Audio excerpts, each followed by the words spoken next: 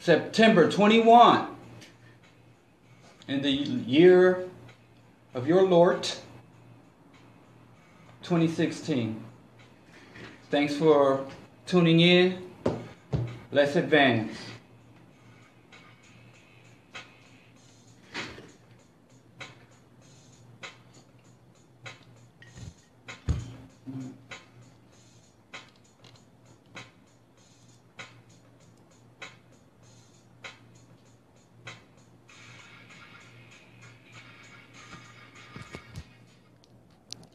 Yo, again, I appreciate you.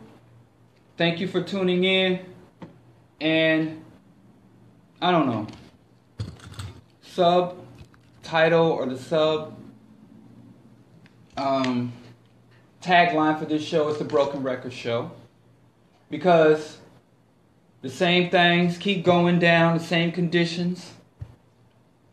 But I know I'm about to get real unpopular because what's more tragic than the same abuses, the same oppression? It's the same canned responses that come out of the black community.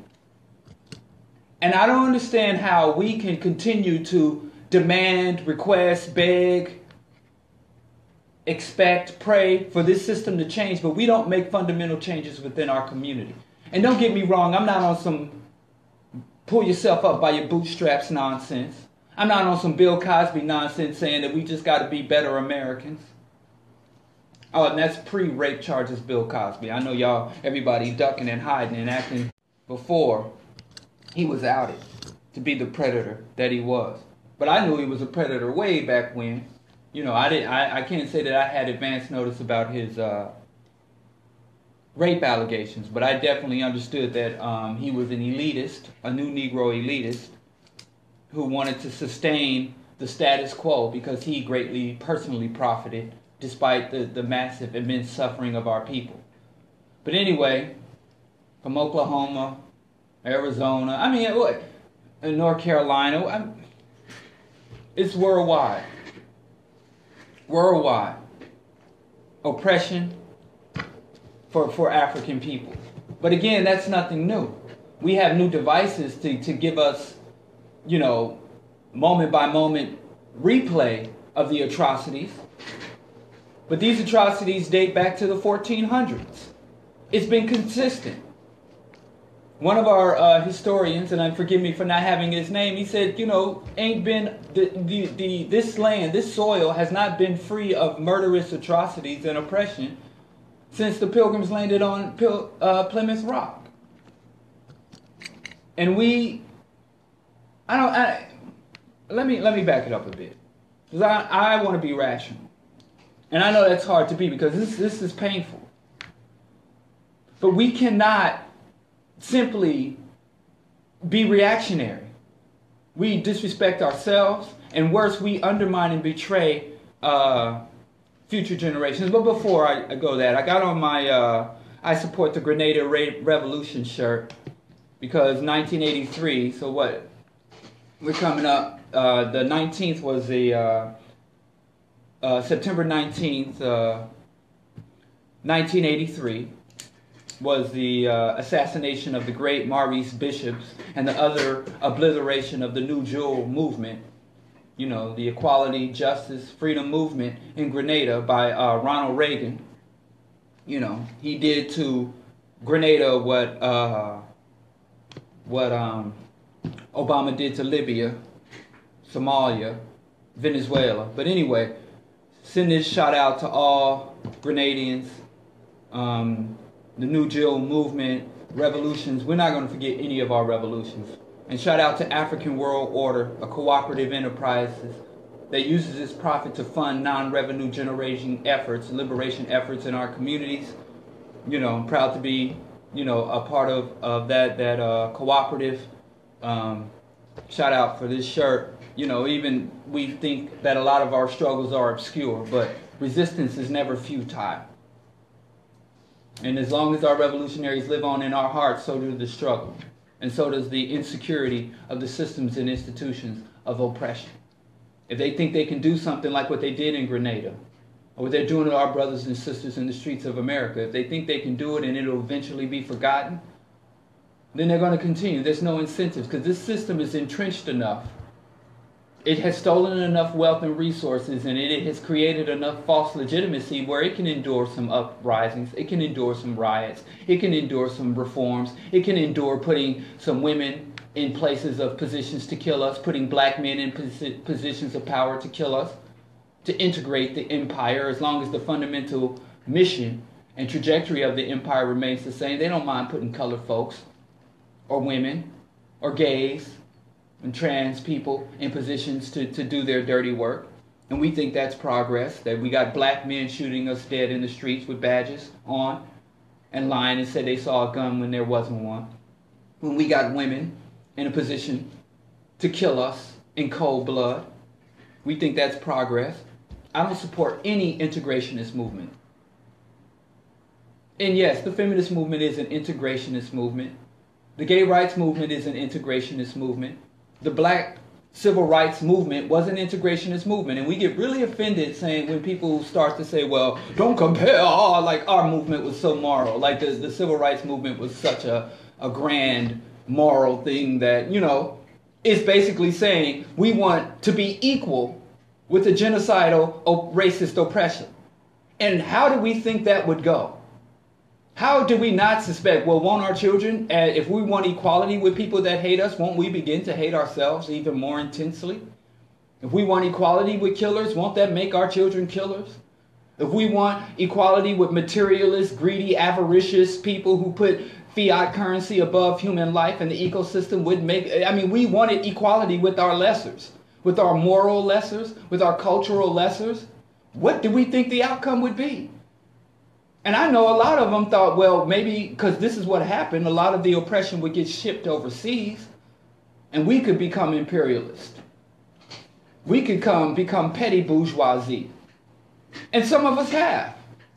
And the few of us who have will defend this omnicidal system to the end. The bitter, bloody, starving, burning, nuclear radioactive end.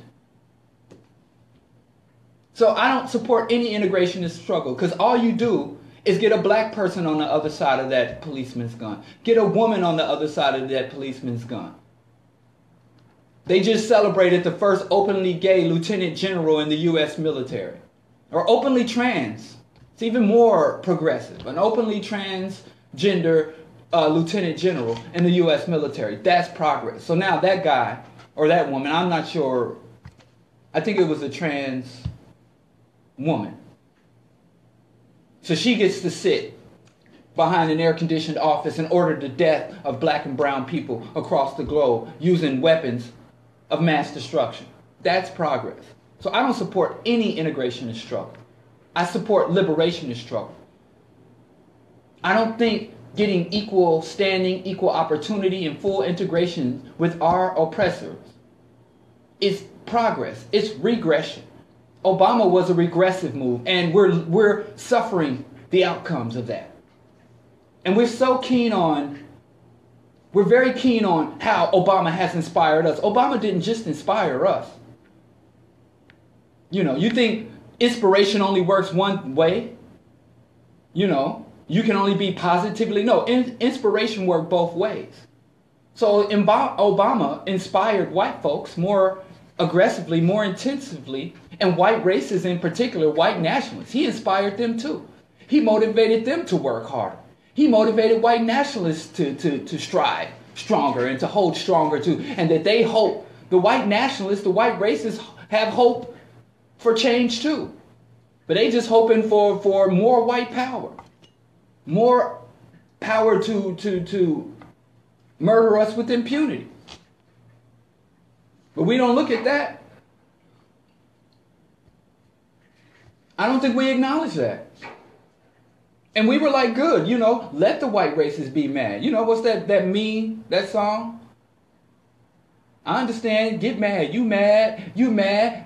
Remember that uh, popular meme uh, with uh, Michelle and Obama?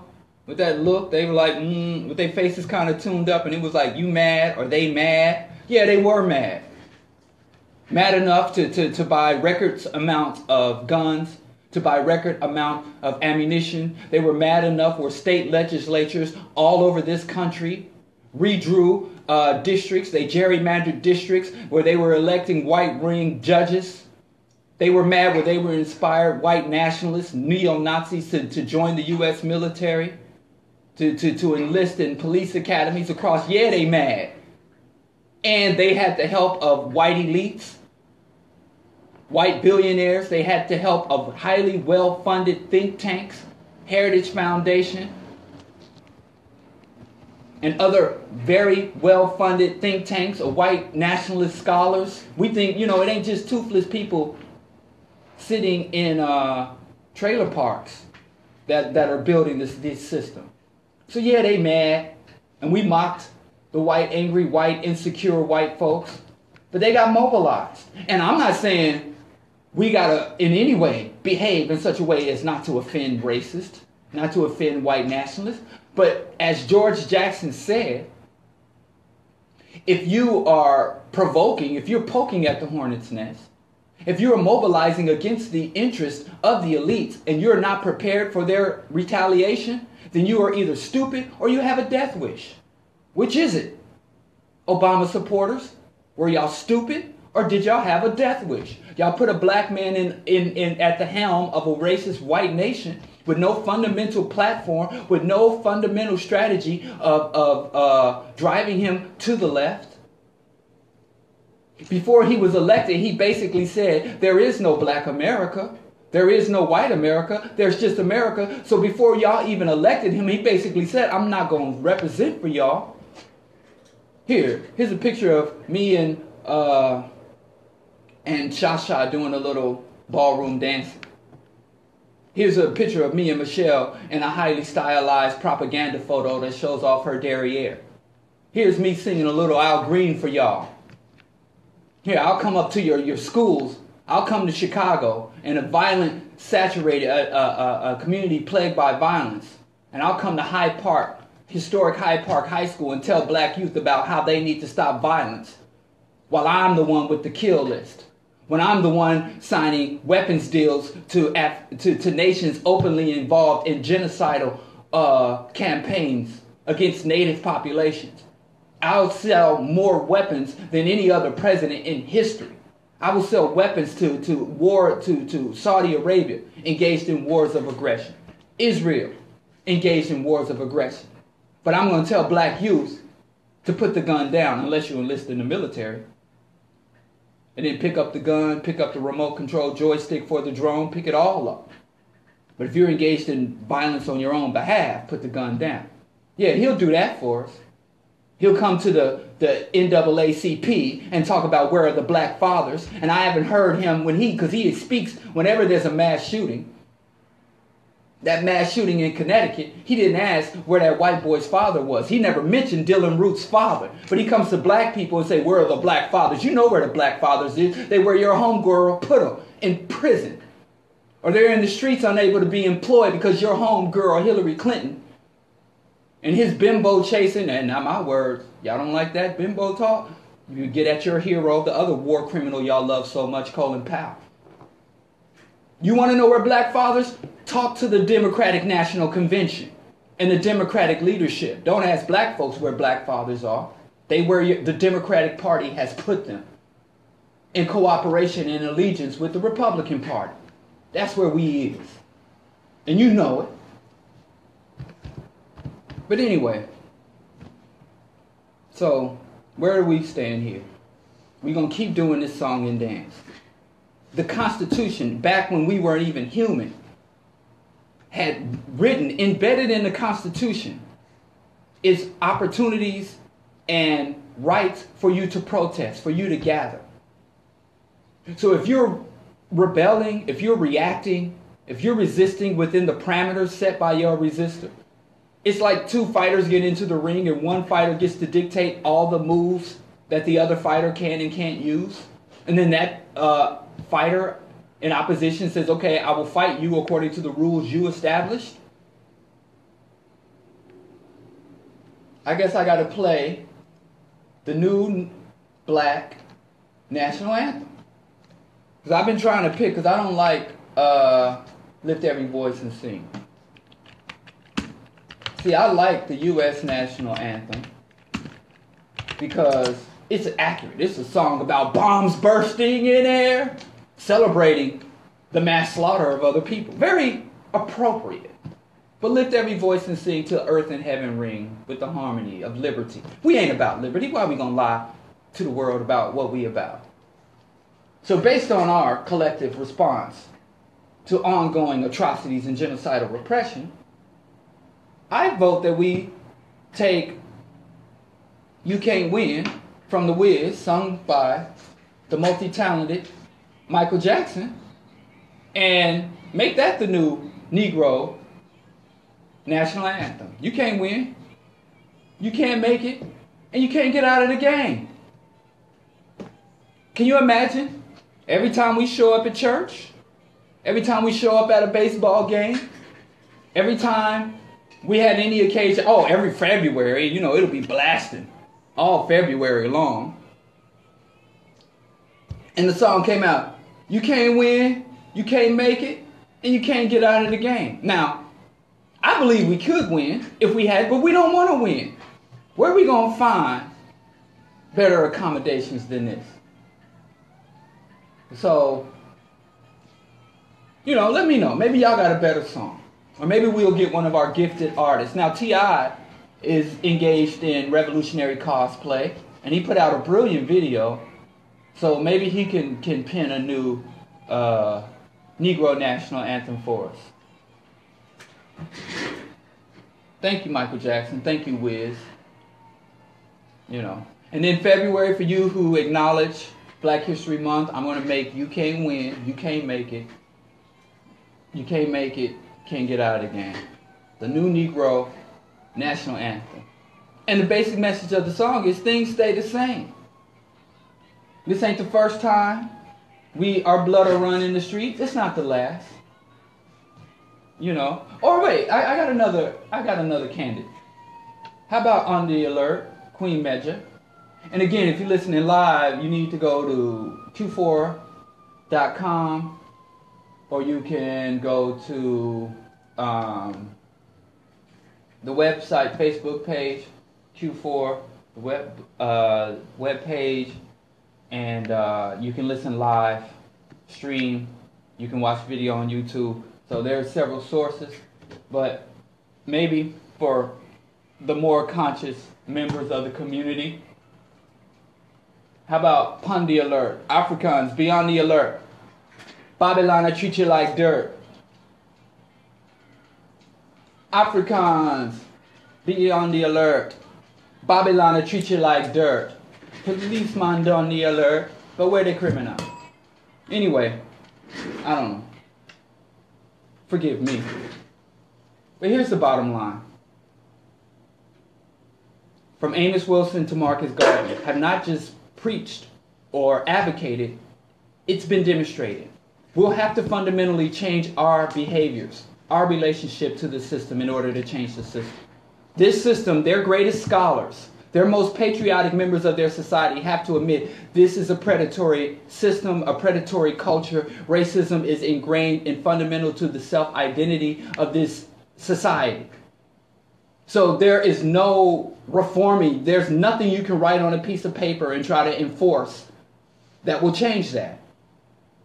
So we have to not try to awaken races, reform races, or outlaw races. We have to erect hard, fast, and maneuverable barriers to racism. We have to reduce our vulnerability to races. And that requires us to have independent infrastructure. That requires us to erect the both legal and material frameworks for sanctioning those who act against our best interests. Because racists are just like aggressive dogs, they can be trained. Racists hate Jews as much as they hate us. But they don't shoot Jewish children in the street. And it is not because Jews are lawful. If you look at their websites, if you follow their rhetoric, They love this book called The Protocols of the Learned Elders of Zion, where they believe that Jews control everything. They call the United States a ZOG, Z O G, a Zionist occupied government. And but all of that, when the average white nationalist puts on a badge and puts a holster on his belt and puts his gun in there and hops in that patrol car, and when he engages a Jewish individual, and despite all of his hatred, all of his personal views align are out the window, and his behavior aligns with what? The status quo. Officers are not a revolutionary force. You will not find anywhere in history where police officers, low level bureaucrats, have been an engine of social change. They are walls. So the police will go with the status quo. The police in Europe don't kill black people as much. They don't even carry guns because the status quo is different. Not because they're more loving, more caring, more professional than the cops or the white people anywhere else. So we need a cultural revolution to change our fundamental relationship. They know if they shoot other people despite who they hate, they are also cowards. They're only going to attack and demean those who they can get away with. They don't like Asians. One of the most popular sayings in the United States up until the 80s was, you don't stand a Chinaman's chance. Some of the biggest race riots and racial battles that have been fought in the, on this soil, especially on the West Coast, have been between Chinese migrant, Chinese rail workers, and whites. But they don't aggress against them as much. I mean, they're against all these groups, there's subtle psychological attacks. But what I'm saying is, racist attacks have no direct correlation to the personal hatred and, and prejudices of the police officer. When the police officer acts in capacity of a police officer, they act strictly according to the status quo. A lot of these police officers are working class. They understand putting their hate, their racial insecurity, their pathological racial insecurity aside, many of them understand that the CEOs are screwing them over. But they're not going to uh, spread CEOs across the hood of the car. Because I look at their list of enemies. And, and, and the white nationalists are very clear on who their list of enemies. They don't like liberals. They don't like Jews. They don't like anybody that's not Aryan. And, and, and really, Aryan to them is the phenotype of white. They don't like a lot of people. But then when you look at the list of people that they don't like in their own literature, in their own speeches, in their own ideology, in their own culture. But you look at the people who come under their vicious attacks, it don't line up. Why? Because the people that they don't like who lack cohesive power, institutional power, organizational power, global power, the people they don't like that have ability to fight back, they don't mess with them. Why is the United States not in North Korea right now? Because they love North Korea or care more about North Korean lives than they care about Iraqi lives? Why isn't the U.S. got boots on the ground or dropping drones in Iran right now? Because they care more about Iranian sovereignty than they do about Libyan sovereignty? No. Like all parasitic predatory creatures, they attack the weakest target. You know? So, what we need, and what we've been calling for since the 60s, we need power. We need power, not reactionary power. Though, because we have reactionary power. We can burn down a city, which increases the GDP in the long run. You know, the property and currency spectators, the institutional investors on Wall Street, they like they make money off of uh, social upheaval. Whether it's the Arab Spring or the Cincinnati riots or the Venezuelan uh, food and, energy crisis. The white man gets paid off of all of that. The white elites. To quote, you know, King Kanye, Mr. Picasso, Mr. Einstein, Mr. Malcolm X of our generation. That's what he said himself. And uh, so, how do we react in a way that the elites don't profit? And they don't care about a few cops You know, because that um, maximum compensatory justice, they don't fa- care about a few cops losing their lives. They don't care about the police on the ground losing their st- stability. They don't care about the so called good cops getting enveloped in with the bad cops. How do I know? Because they send their boys overseas to die by the tens of thousands. Right now in the United States, we have between 22 uh, veterans committing suicide a day, and it doesn't even get in the news. The U.S. military is basically uh, has has they say what if you if you're a woman and you join the military, you're more likely to be raped and sexually assaulted by your allied soldier than you are to be killed or maimed or even looked at by your enemy combatant. There's an epidemic of rape and sexual assault. And the, the number one, the, the civilian society has an epidemic of sexual assault and rapes. And when you go into the military, which is a microcosm of the larger society, it, it balloons even further. It's unimaginable. And they said we can never get accurate statistics because, you know, a lot of these women have to go to their go up the chain of command and always up the chain of command is some, you know, predatory authoritarian white male who, or black male like Colin Powell who's going to shut it down. So the suicide. So and they've done nothing. We remember under the uh, Bush regimes when they went into that famous uh, military hospitals and had open sewage leaking and rats and vermin running through. So don't think, oh, if, if, if the police attack us, it's going to harm their officers. They don't care. They don't care. You think, you know, the, the billionaires, the elites, they don't care. Do we remember when all those soldiers in the first Gulf War under Bill Clinton and, and, and the first George Bush, and they got exposed to, to uh, all the chemical weapons? They called Gulf War syndrome. They didn't give them any money. The Congress just voted not to give any more money to the first responders for 9 11. I mean, they don't care. They're willing to die. They're willing to send, you know, droves and droves of their own children to maintain their ill gotten gains. So, how do you address such a system? You know, there is a way. We can win, we can make it, we can get out of the game. But what we, but the problem is a lot of things that we've become accustomed to, a lot of the status that we've eh, a lot of the comforts that we enjoy living even though we're at the bottom, we're at the bottom of the top. The United States is that global hegemon. It is the sole global superpower. It is the largest empire in the history of the world. And it has forced at gunpoint, at missile point, at nuclear bomb point, the rest of the world to align their economies in a way that suits the interests of the U.S. The U.S. dollar is a petrodollar. And they go to these nations and say, hey, the world's primary fundamental energy sources have to be bought and sold and traded in US dollars. So you have to do this currency conversion, which, which is extremely disruptive. You know, all the, the world's economic eggs are forced to be in one volatile, unstable basket. So this is a global empire. And one thing, even if you're comfortable, even if you got your degree, you got the resources to pay your mortgage and your car note.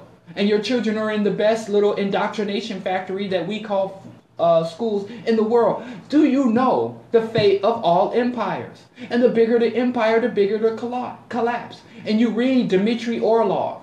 And Dmitry Orlov is a scholar who lived through the, the collapse of the Soviet Union. Then he migrated to the United States, and he said the conditions here are more ripe for collapse than they were in, in, in Mother Russia. And he said that the, infra- the fundamental infrastructure to endure the collapse and come out of the collapse don't exist here like they did in Russia. When Russia went into the collapse, number one, it was a homogeneous society. And I know I'm going down a rabbit hole. And I know I'm not going to be able to dedicate the time to this particular issue that I need to, but so be it.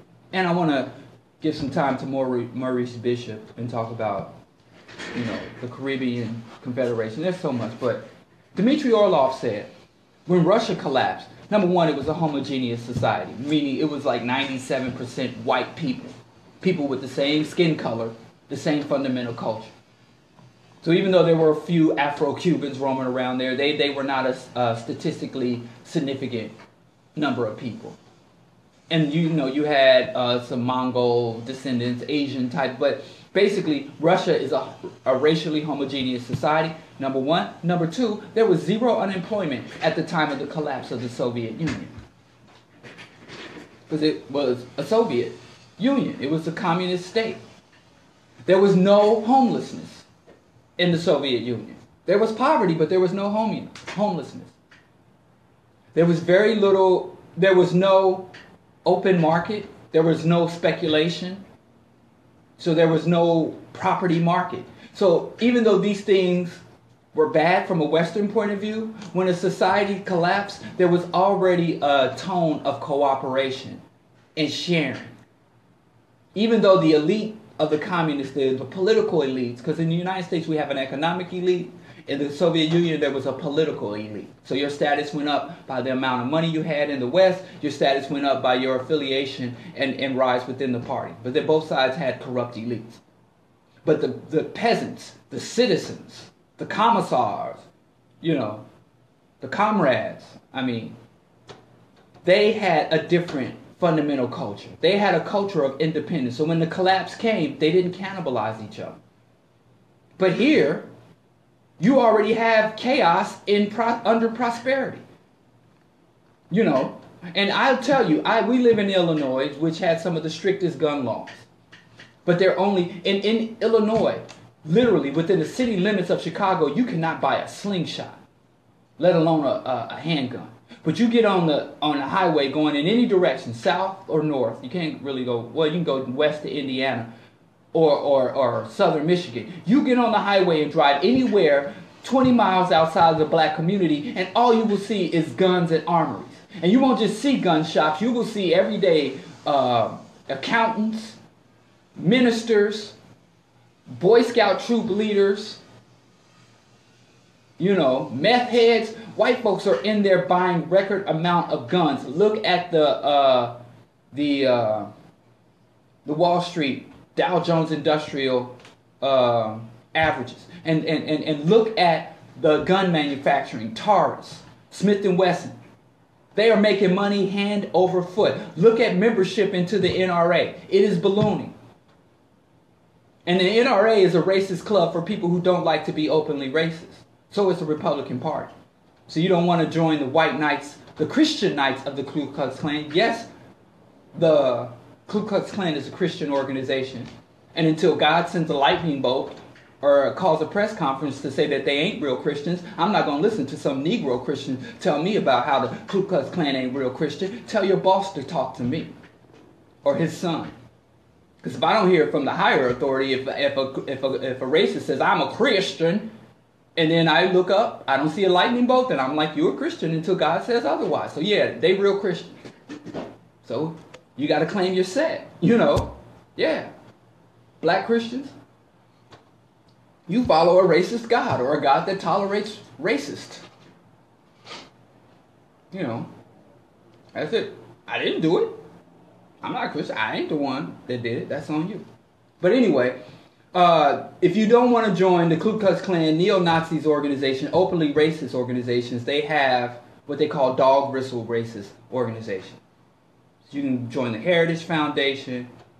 You can. I think there's a new Citizens Council. There's a Tea Party, but all these white folks is well armed, and some are more organized than others.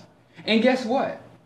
A lot of these liberals, a lot of these Democrats, a lot of these feminists, when the lights go out, when the water faucet isn't is spitting sewage, you know, when when the when the elites have all gathered up their stuff and moved to Dubai, and you'll find that a lot of elites, a lot of white billionaires have uh, secondary citizenship. You know, they I heard in uh, Chile they they've got this mountaintop reserve. You know, that's like a global bomb shelter for for billionaires. You know, we already have several white elites who have moved to Dubai their money's in the Cayman Islands. They got residents in Dubai and stuff. So when all this go down, a lot of these tree hugging kumbaya, you know, dreadlock wearing, tattooed up white folks are gonna have to pick a side. And generally, they go with you know their phenotype. Historically, historically. You know, when the crops start to fail, when the, when the summers come and you're getting 120 degree weather, you know, because ecological collapse always precedes, um, not always, but if you have ecological collapse, you're going to have economic turmoil. And when you have economic turmoil, you're going to have political turmoil. And when that ball starts rolling, and there's, like I said, there are a lot of legitimate white scholars who ain't got no love for black folks, ain't got no particular interest in the black struggle. So they just tell them the truth. They're not trying to manipulate us. You know, you got Morris Berman, another one of the best, most slept on white scholars. Morris Berman. That's all he writes about. Is in, uh, in one of his best books is Why America Failed. He said the collapse is already in motion and it's irreversible. And you know, Obama's administration has basically went to the dam and put tape and stuck his finger in all these little minor leaks, but the dam's about to break. And so what did he do? He gave up his U.S. citizenship. Now he lives in Mexico City. Ken O'Keefe, the former Marine who went to Iraq to, to, to, to avenge 9 11 and got there and was like, whoa, this is all a lie. He's renounced his U.S. citizenship. I think he's somewhere in the Caribbean. When you look at the people, the real strategists, the, the, the scholars, and the military people, or ex military, ex intelligence people, a lot of these people who have access to classified information, they're jumping ship. And so it'll just be us and the poor whites and we're gonna have some. And that's a thing I gotta tell you, socialists. You know, shout out to my socialist brothers and sisters. I love y'all, but y'all better get on this Pan African kick. There's socialism over here, but it's it's it's African socialism. It's scientific socialism, because I'm telling you, them white liberals, you know, when when when a when you know when a truck full of well-armed rednecks shows up and says, you know, if if you if you got black skin, Send them out. They're going to turn to you like, gee, you know, Mustafa, we love you, but. anyway, all this doom and gloom, but hey, that's the mood I'm in. And I apologize. Let's go to a musical break. We're going to come back and talk about something other than because because I'm on this train of thought kick. There's some specific things I want to talk about. I think I, I want to talk about specifically what we should do or need to do and one thing we have to do is understand that it's not just the police. And if we just focus on the police, listen, do you think racist? I'm a racist. So I'm going to go join the police. No. It is the doctors, the family services, social workers, the school bus drivers. There are racist white aggressors in every area of society. I'm going to go into media and marketing. I'm going to go into black schools and do a Teach for America grant. A lot of these teachers, if you gave them a gun and a badge, they would be killing our kids. And a lot of these cops, if you give them a degree and a and a and a uh, notepad, they're killing our children psychologically. But you know, we went into our evolutionary how our brains are hardwired by our evolutionary development. So if it bleeds, it leads. And the reason if it bleeds, it leads because in, when we were lower on the food chain, before we were anointed by God to be dominion, to take dominion over the earth, our more primitive ancestors were not at the top of the food chain. So there were certain animals, and we lived in certain ecosystems where we were preyed upon by animals, by real carnivores. And so are those who were more gay paid more attention to threats lived longer those who tended to ignore threats because if you were in the prehistoric era and you were like i'm on my positivity my chakras are aligned and i'm not giving energy to anything negative then you got ate up yeah you was done and the dude that was skittish like nah i pay attention to negativity my eyes are drawn. You notice how something moves in the corner of your eyes. You, you can't control yourself. If you see a, a motion in the distance, you jerk your head. But when the last time humans as a whole, as a, a whole population, had to worry about lurking creatures jumping out of bushes to eat us? You know, there are some, I mean, you go to certain parts of rural India and Pakistan. Oh, India and Pakistan Oh my God. Um, I got to do my people. I got to do better, people, because there's so much going on. I got to do more detailed outline so I can get to everything. I mean, the, the systems and institution of white supremacy are like going a little too fast for me. I can't keep up with all the madness. But anyway, you notice if you see something rustling out of the corner of your eye, it catches your attention. And if you're driving down the street and there's a car accident, you're going to watch it. When we see danger, when we see threat, when we see potential danger, when we see imaginary danger, it draws our attention. They make a movie with explosions and high drama, it's a blockbuster. If they make a movie about love and human empathy, a few bleeding hearts will go see it. But this isn't really negative. This isn't a bad thing. We need to focus on what's bad. You know, if you have a severe pain in your gut, but you're going to say, well, my head feels fine. No, you're going to be like, I got to find out what's in my gut. Paying attention to the negative, giving attention and energy to what's wrong in the world, in your life, in your body, will save your life. I'm not even sure how I got off on that. But don't, because I see a lot of people say, I'm not going to share these, these photos of atrocities anymore. Because I don't want to make my people be disheartened. If reality discourages you, then crawl up in a ball. I want to know what the deal is. I want to know what's going on. So if you're a freedom fighter, continue to share the, the, the atrocities, continue to expose the illegitimacy, illegitimacy of the state, continue to raise the contradictions within capitalism and, and democracy. Don't try to shelter our people from reality.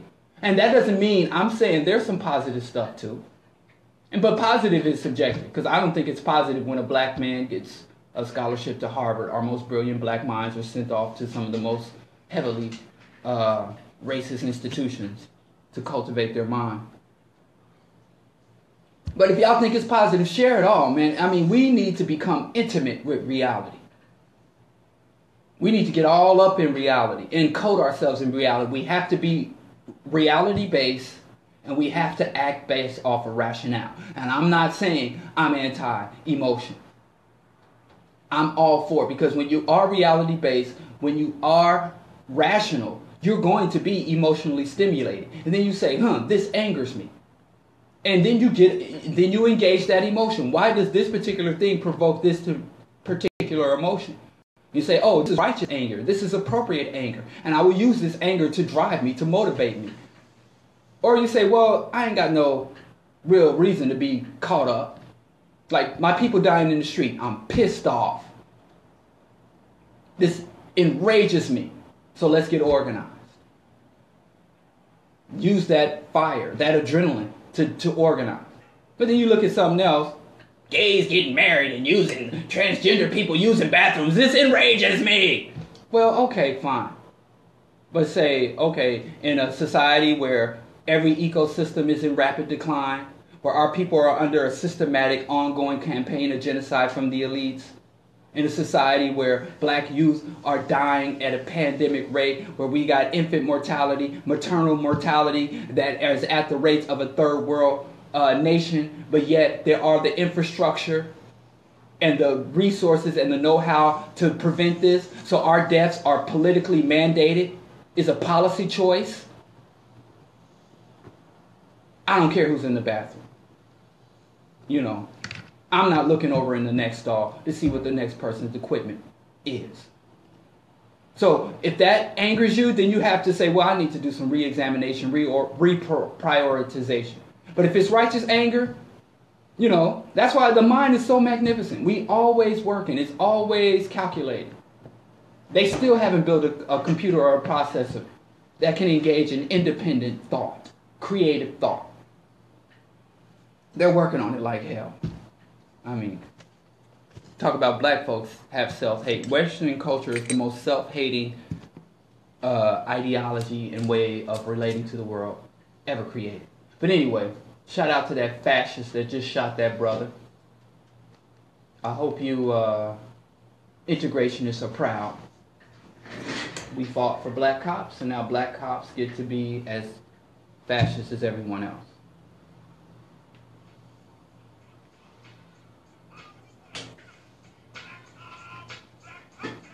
Oh. Thank y'all for tuning in live. I'm about to sign off on live, but the show will continue for another hour or more. So tune in que4.org, Q4 Facebook page. You can also listen live, and you can find this archive at diallokenyatta.com.